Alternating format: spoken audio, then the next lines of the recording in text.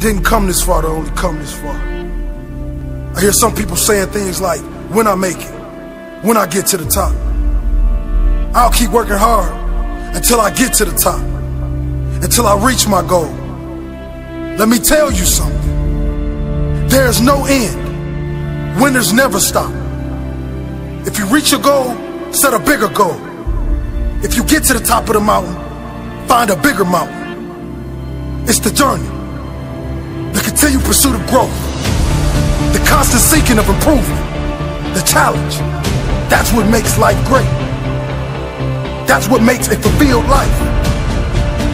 I didn't come this far to only come this far. When I get this goal, I'll seek more. Not more things, more growth. Constantly pushing myself to be better. I didn't come this far to only come this far. I came this far so I could be strong enough to go further. So I'll be good enough to push myself hard. I'm only getting started. This is just the beginning. I'm proud of my achievements, but that doesn't mean I'll settle for them. Proud, but never satisfied. Proud, but forever hungry. Proud and always ready. Proud, but pushing.